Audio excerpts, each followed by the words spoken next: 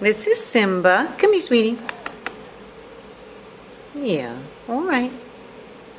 You want to let me pet you?